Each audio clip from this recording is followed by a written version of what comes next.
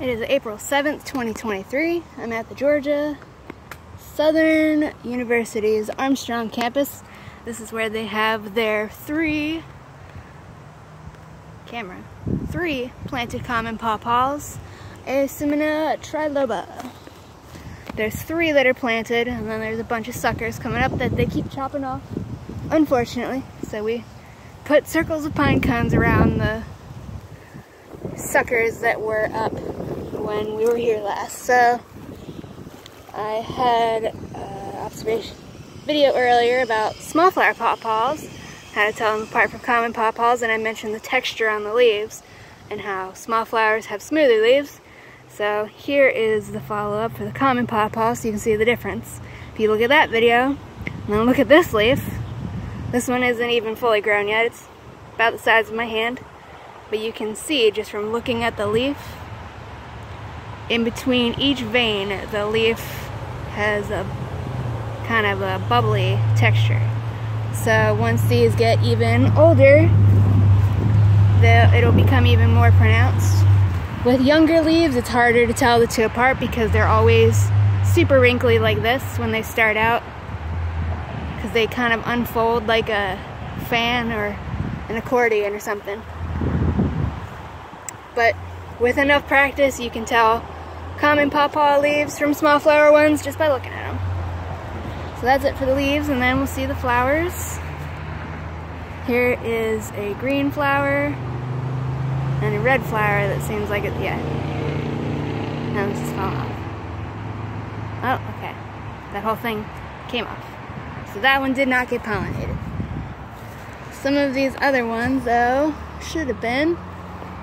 Oh, we got some winter ants in here. Can't really, yep, there they are. Did I just, yep, I got one on me. Here you go, you can go back on the branch. No, the, the branch is right here. Unlike fire ants, these guys are not mean. Well, no, fire ants aren't mean. They are defensive. Come on, the stick is right there, bro. I'm trying to get it. Go back on the stick. Yeah, okay. It managed it. So, anyways, we're looking at the flowers. We got a mature one there and a flower bud that's just starting to open. This is tree number three, as I'm calling them. Tree number one is over there, and then two's back there, and then this one's number three. This one took the longest for the flowers to open. Ooh. And it seems like was just biding its time because as soon as the flowers started opening, they all started maturing really fast. But there's a cluster of three or four fruits up there. Not sure how well they showed up, so clearly this is a successful strategy. I'll go back here and look at tree number two. And here you can see the suckers. And I have a bunch of videos about pawpaws and their reproduction and why they form suckers, so I'm not going to repeat all that now. So, this one got sunflowers still, we got fruit here. This one's got little baby fruits forming. Ooh, we got a big carpenter ant here. I think this is a Florida carpenter ant. They look just like the winter ants, but they're a lot like three times the size. So these guys are actually helping to pollinate these pawpaws. We got some fruit here because pawpaws are not pollinated by bees. Giant truck just went past, so pawpaws are not pollinated by bees. They're pollinated by beetles and other stuff like that, and ants. So you can see them in there.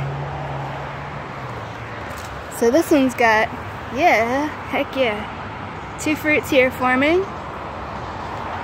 Some more up here, and here. These ones here didn't get pollinated because you can see there's nothing stuck to them, it's just the base of the flower. So those will probably fall off at some point. Oh, heck yeah. Cluster of three right here.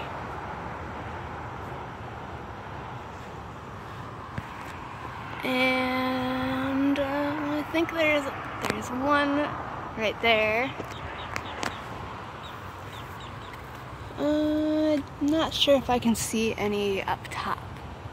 If it's higher than I can reach, then it's just up to nature. Here's two right here. You can see them against the sky. All right, and now we'll go look at tree number one, which is up here.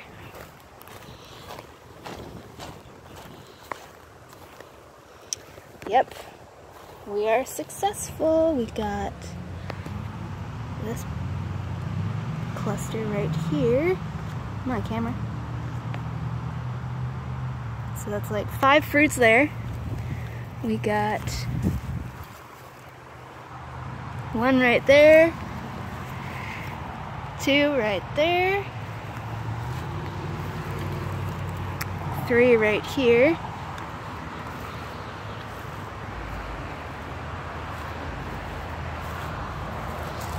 One here. That's a leaf. Another cluster right here. Try to take off those petals. Two here. A lot right there.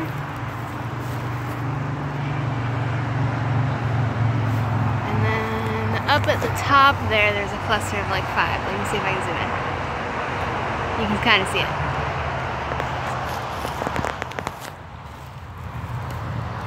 And then this one does still have some flowers.